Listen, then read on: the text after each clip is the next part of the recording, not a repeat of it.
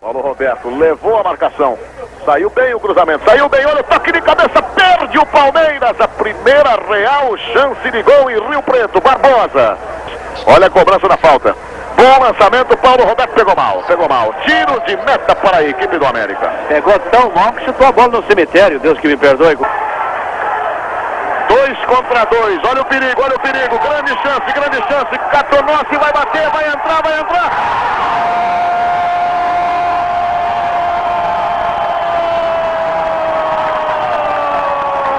do América.